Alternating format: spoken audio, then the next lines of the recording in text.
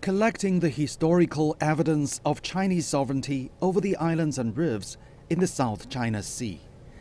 This has been the focus of Professor Wu Shicun's work for two decades. The more he studies, the more he believes China has the best basis of territorial claims. Manila's arbitration case is challenging China's historic rights of the dotted line claims. The dotted or nine dash line is closely related to sovereignty issues. Territorial issues are subject to general international law, not the UN Convention on the Law of the Sea.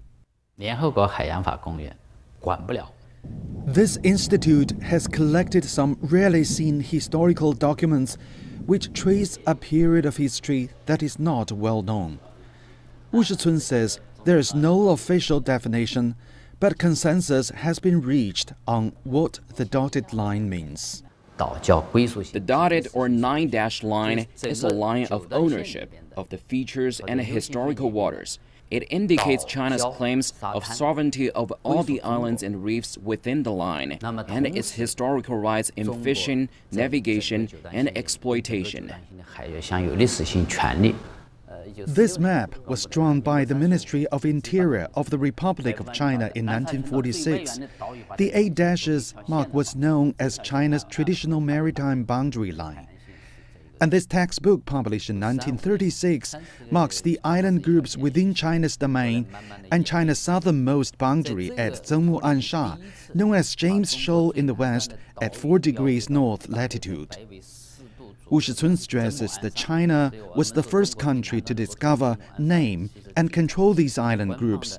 The history of continuous use and exercise of authority spans over 2,000 years. This map identifies some island groups as Wanli Changsha, literally meaning long sandy banks tens of thousands of miles afar. They are marked as the territory of the Ming Dynasty. Wu Shicun says no other country can provide more definitive evidence to support a claim, but today the stakes are much higher. 南海这一已经由原来的 Due to various reasons, including the implementation of the UN Convention on the Law of the Sea, the pursuit of marine resources, and the increasing U.S. pivot to Asia, the South China Sea disputes have developed from the original disputes of islands and waters to a geopolitical contest of politics and interests, resource exploitation, and navigation control involving both the claimants and the non-claimant states within this region and far beyond.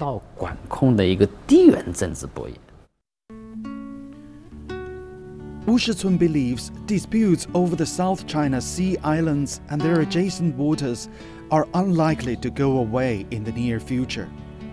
He says putting aside disagreements and seeking joint development would be a wise move.